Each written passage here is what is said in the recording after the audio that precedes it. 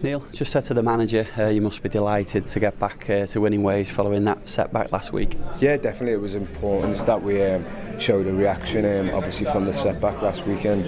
Um, credit to the boys, um, we've did that, and like I say, got another win. Um, so hopefully this is the start of another one of them runs.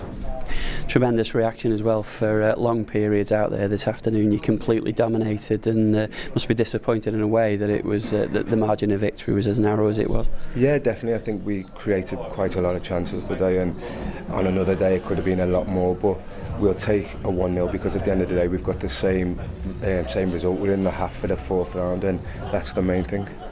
the manager had to make four changes uh, today to his starting lineup. Um, you still had the ability then to go out there, dominate a game. That must be pleasing when uh, you've got that flexibility within the squad. Um, completely. I think that it just shows the depth in our squad. Um, these people thriving to get in the team and when they've been given the chance they've took it with both hands and that's important for a successful squad and I think you can see we, we've got all the makings of, of something special here and hopefully we can, like I say, continue that and whenever anyone's called on to, to step in, um, the, the, like I say, no one's, it doesn't seem like someone's missing it almost at tran like the transition's almost seamless and that that happened today One of those uh, changes, of course, this afternoon. Uh, saw Zach Clough yeah. giving his debut.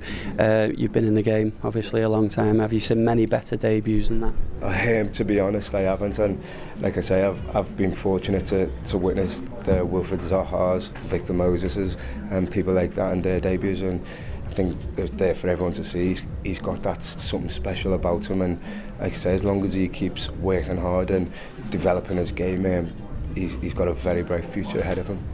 Showed real composure didn't he as well for his finish. Uh, that, that that was the finish of uh, of an experienced season 30 30 goal a season striker wasn't it? Um, yeah it was but like I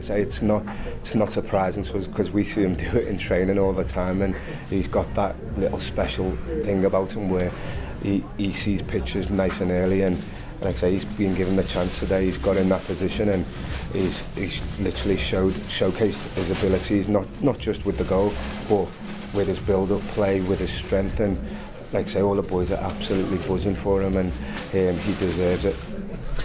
Adam Bogdan came back into the team today. Uh, obviously, he dominated for long periods, but when he was called upon, it, again, he showed his quality. I think it's fair to say you possibly got the two best keepers in the division. Yeah, um, I, I wouldn't disagree. I think, like I say, that's that's how hard it is for both of them. They're both pushing each other non-stop, and when you've got that competition, it's healthy. Um, Adam's come in today, and like I say, he's he's, he's pulled out two worldy saves, which where I'm looking at thinking how's he got to that. Um, but credit to Adam, he's like I say, he hasn't come in and sulked or anything. He's he's kept working hard, and and today I thought um, one called upon, he was fantastic. Obviously, uh, in recent times, a lot of conjecture in terms of whether or not the FA Cup still retains it, its sort of luster Yeah. As a player, how important is it for you?